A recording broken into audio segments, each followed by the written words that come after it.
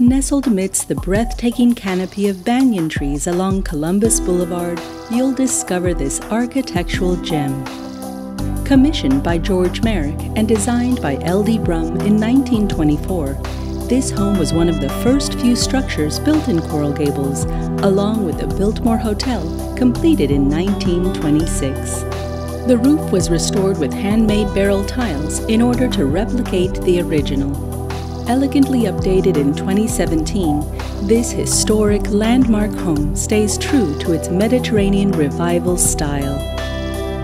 Upon entering, you're welcomed by a warm open foyer with a wood burning fireplace, hardwood floors, and generous natural light flooding in from the dining room doors.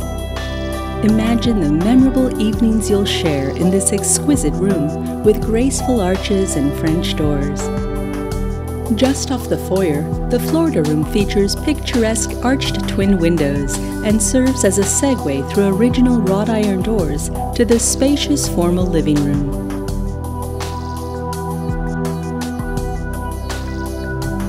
With white cabinetry and stainless steel appliances, including a professional Vulcan gas stove, the eat-in kitchen blends charm with modern convenience.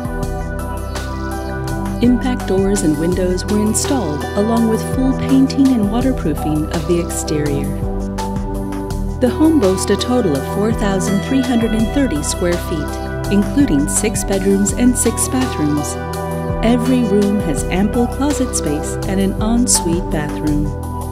A beautiful spiral staircase leads to the sublime, completely private second floor master bedroom suite.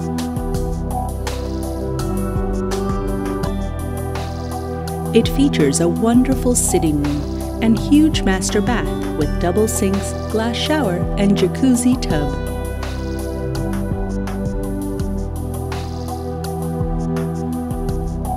Step out onto your own covered terrace. It overlooks the Chicago brick patio and sparkling pool, embraced by a lush wall of palms affording total privacy.